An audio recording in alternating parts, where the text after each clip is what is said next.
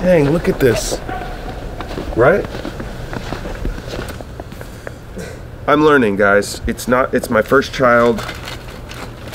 Here are my sunglasses. I was looking for these. As good as us. You got me singing, we don't need no This week we're releasing a song called Kings and Queens that I'm really excited about. I wrote this song in the studio on this piano with my buddy Judah Akers from the band Judah and the Lion he sat down this piano and he started playing these chords and he's like, man, I have this melody. It's like eeny, meeny, miny, mo. He's like, I just something about that with these chords. And I was like, that's really interesting. And we started singing and we came up with this title, Kings and Queens in our own mind.